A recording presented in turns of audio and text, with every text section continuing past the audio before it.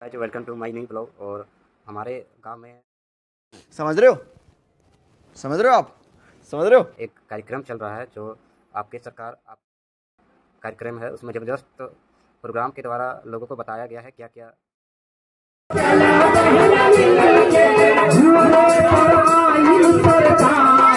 चला चला